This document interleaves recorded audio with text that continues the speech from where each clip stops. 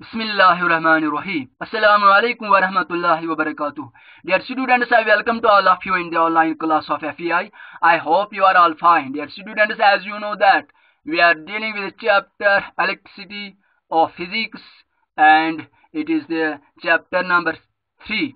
Dear students, as you know that we are at the end of this chapter. We have completed this chapter and today our topic will be uh, some numerical problems. We will uh, solve some numerical problems of this chapter electricity. Dear students, numerical problem number जो one है वो हम आज यहाँ पे discuss करने जा रहे हैं यानी हम इसको आप सॉल्व करेंगे आज now dear students a copper wire of length 2 meter and area of cross section 1.7 into 10 raised power minus 6 meter square has a resistance of 2 into 10 raised power minus 2 ohms.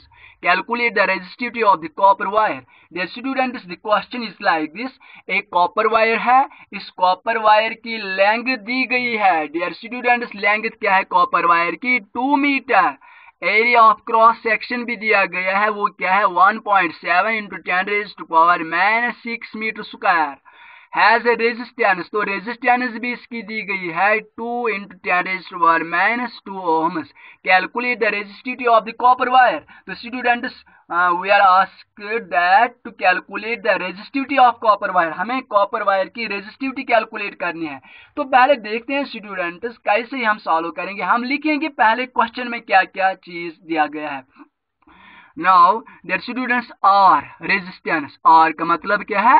हम रेजिस्टेंस को कैसे denote करते हैं? Are से। तो are क्या है? वह two two into ten raise पर माइनस टू ओमस आर का वैल्यू दिया गया है।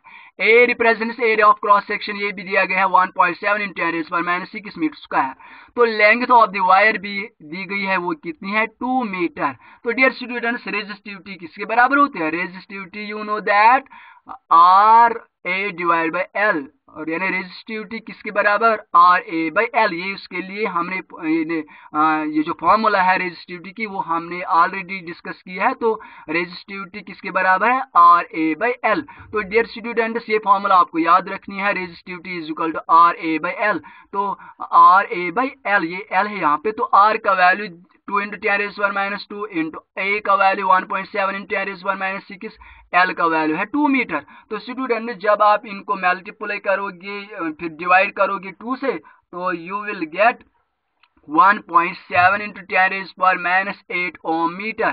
तो students resistivity of copper wire कितनी निकली? 1.7 into 10 raised to power minus 8 ohm meter.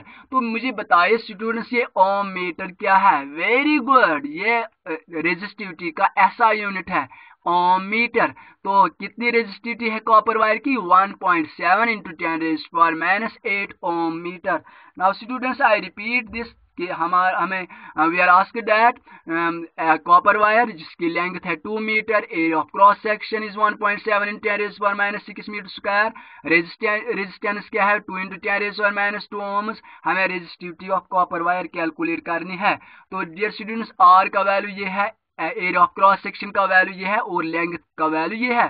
तो रेजिस्टिविटी की फॉर्मूला है आर ए बाई एल तो आर का value two into ten raise पर minus two into area of cross section 1.7 into 10 raised power minus 6 ohm divided by 1.7 into 10 raised power minus 6 metre square और ये जो length है वो है 2 जब आप इसको डिवाइड करोगे you will get 1.7 into 10 raised power minus 8 ohm metre तो क्या रेजिस्टिविटी ऑफ़ कॉपर वायर कितनी आई 1.7 into 10 raised power minus 8 ohm metre तो स्टूडेंट्स ओम मीटर आप याद रखना ये ऐसा यूनिट है रेजिस्टिविटी की तो students next question is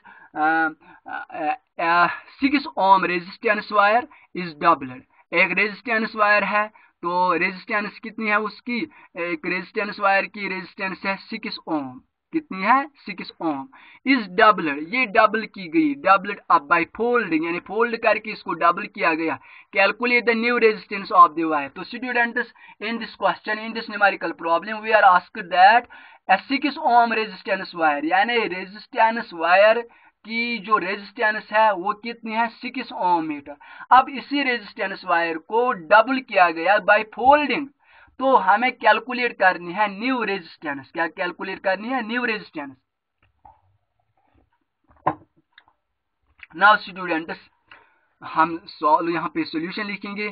Suppose the length of six ohm resistance wire is L हम सपोज़ करेंगे, हम let suppose that the length of this resistance wire is L metre कितनी L area of cross section हम A रखेंगे। तो students resistivity किसे denote किए जाते हैं? रो से। इस सिंबल को रो कहते हैं।